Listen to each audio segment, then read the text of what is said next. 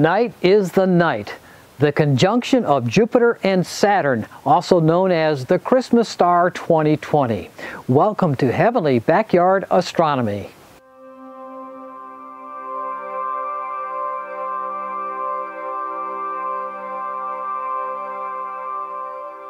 I do a lot of videos from my backyard garden. I call it the Heavenly Backyard Garden, well, because of the telescopes looking up at the heavens in this beautiful garden uh, display I have here in the backyard. As a matter of fact, here in Savannah, I have something in bloom just about every day of the year. Right now, the camellias are beginning to open up, and they'll be in bloom all winter uh, from December through, well, going into March. And then, of course, March, the uh, spring flowers start to bloom. Actually, starts before that even. But uh, if you like my videos, please subscribe to my page. Again, I do a lot of astrophotography on this page, even though I will slip in a few garden uh, views or tips now and then. Uh, what I love to do, and that's express my views of what I see up in the heavenly skies.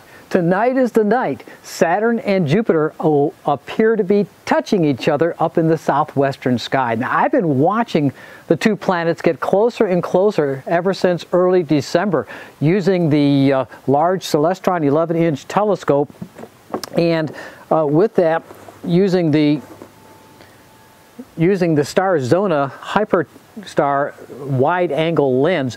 Uh, this takes it from an f10 down to an f2 field of view. That way I was able to capture uh, Saturn and Jupiter uh, approaching each other up into the southwestern sky. Now, we've had a run of cloudy skies uh, uh, last week. I did get a couple nights of viewing, and then on Friday night, uh, the 19th of December, I was able to put on the uh, Celestron 7X 0.7x reducer. This takes the field of view from f2 to f7, or actually f10 down to f7. And this gives me a tighter view of the sky, and I was able to capture Saturn and Jupiter in the same field of view using this. However, last night the sky was totally cloudy, that was expected. Now at the night, as the sky continues to clear, I expect to have a great view of the two planets touching each other, and with that, I have the telescope back in its native form of f10, and that should give me a nice close-up view of the two super gas giants up in the sky. A lot of people are chatting about this is the Christmas star, or representing the Christmas star, or the Christmas star of 2020. But the question was, and the question still is, what was the Christmas star? So what was the Christmas star or the Star of Bethlehem? Well, to figure that out, first of all, we have to understand when Jesus was born so we can look in the sky back at that time frame. One thing we know for certain, it most likely was not December 25th, the year 1 or the year 0 AD, whichever you want to call that. It was most likely sometime between 4 BC and 7 BC.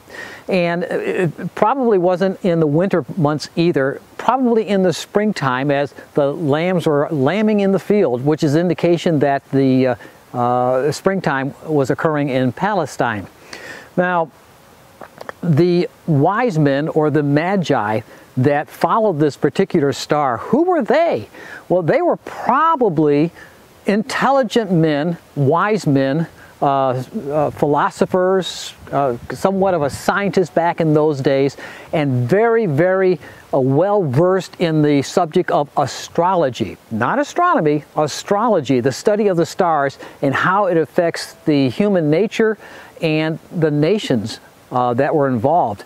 And uh, Judea was associated with the constellation Aries, a little bit of Pisces, but mostly Aries. And Jupiter was a very prominent uh, god in the sky, the planet Jupiter, uh, which indicated power and dominion. And also Mars was very, uh, uh, very associated with the nation of Judea. So what if it, the astrologers see something in the constellations or something up in the sky, the astrological information about that, that uh, time. Uh, what if something was going on in Aries that uh, involved uh, the moon, the sun, uh, Jupiter and Mars. That would be extremely interesting to the astrologers, and that would map out a great interest for the nation of Judea. Back in April of 6 BC, an event did occur. As a matter of fact, it was a spectacular event. Not something you see with the eyes, but something astrological. Jupiter and Mars were in the constellation Aries. And on the date in April, uh, the moon passed over Jupiter, which means occulted Jupiter or passed over Jupiter. That provided significant indication or a very strong marker for astrological events. Now, that in itself meant something was ongoing uh, for the nation of Judea, according to the wise men or the magi from Persia. To see it once was spectacular. But to see it twice in one month was phenomenal. And that's exactly what happened. A month later, the moon again occulted Jupiter and passed over Jupiter uh, in the constellation Aries with Mars nearby. To the Magi, this can only mean one thing. Something spectacular has happened for the nation of Judea. And, uh, you know, during that time, you know, the, the, the news of, of, a Messiah was always on the, uh, the lips of uh, many religious folks, and perhaps the Magi thought this event was marking the sign of the Messiah. They left their homes and traveled over desert lands and rough terrain to go visit this child that was perhaps born in Judea, and they went on their way. So, what was it? Well, we know it wasn't a, a, a, a, conjunction of Jupiter and Saturn. However, that one time did occur. Uh, was it a conjunction of the planets? Well, yeah, probably not because it's fairly common uh, and it's not that spectacular up in the sky. So we look, we see Jupiter and Saturn now. I mean, we're talking about it, but it's not that spectacular view up in the sky. It's bright, but Venus is brighter in the morning sky right now. So what was the Star of Bethlehem? Was it a comet? Well, most likely not, because comets are a harbinger of bad news or bad luck or bad things to happen, an omen of bad things. Uh, was it a nova? Well, there was a nova during that time period, uh, around 5 BC, but recent reports indicate that it probably wasn't bright enough to catch the attention of the Magi. But when you look at the astrological events, with the planet Jupiter and the moon and Mars all in Aries, that did most likely catch their attention. Well, if you want to know more, I wrote an article about this, and I'll have the link. Uh, well, there's the link right there, uh, but it's also be on my page at the bottom in the comment area. Uh, you can just click on that if you want to read more about what information I researched and thought what might have been the Star of Bethlehem or the Christmas star. I call it the Star of Wonder. So it's, it's and it's there on my webpage for you to look at. I'm into twilight now and I can see the planet.